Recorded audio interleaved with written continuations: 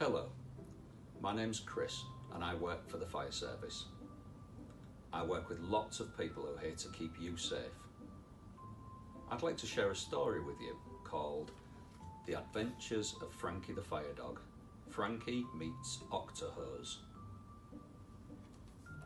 My name is Frankie the Fire Dog and I am a firefighter. I work at the fire station. Firefighters work as a team to keep people safe. If there is an emergency, we are always there to help. I would like to share one of my adventures with you. One sunny day, Octo, the octopus, was sitting in his garden reading his favourite book. Octo could hear laughing. He looked up and saw some children playing on the riverbank.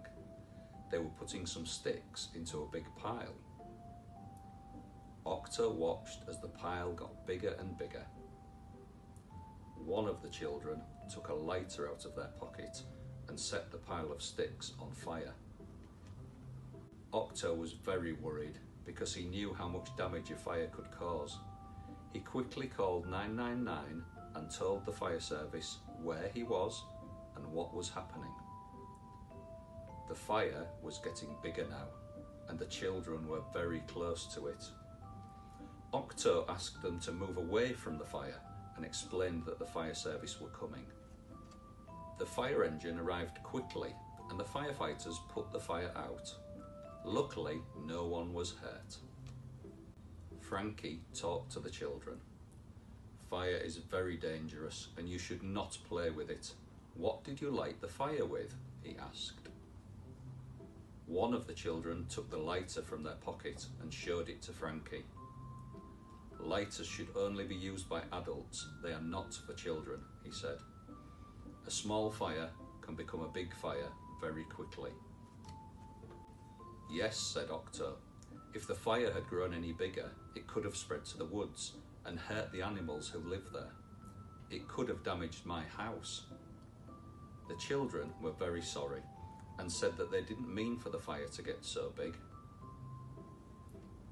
Well, said Frankie to Octo, your quick actions have kept everyone safe and the woods have been saved. Have you ever thought about becoming a firefighter? Octo didn't know what to say. He had always dreamt about becoming a firefighter, like his best friend, Jilly. Why don't you come to the fire station and try? We're looking for new firefighters to join our team, said Frankie. That night, Octo thought about what Frankie had said. He would love to join the fire service and to help people, but he wasn't sure he could do it. He was worried people would laugh at him as he was different, and he was not sure he could pass the tests. Octo called his best friend Jilly and explained what had happened. She listened and said, Go and see. You will never know what you can do if you don't try. Octo knew she was right, so the next day he went to the fire station to do the tests. Octo waited to see if he had passed. He was very nervous, but really excited. You did really well, Octo. It was amazing to watch you put the equipment together so brilliantly, said Frankie. I think we should call you Super Octohose. Welcome to our team. Octo was very pleased and proud of himself.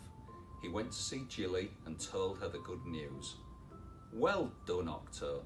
I knew you could do it, said Jilly. Thank you, Jilly, he said, but I think you mean Super Octohose. They both laughed and laughed. He couldn't wait for his next adventure as a firefighter to start. It's really important to remember Frankie the Fire Dog's advice about keeping safe from fire. If you see matches or a lighter lying around, please tell a grown up. Never play with matches, lighters, or lighted candles. Thank you for listening. Keep safe.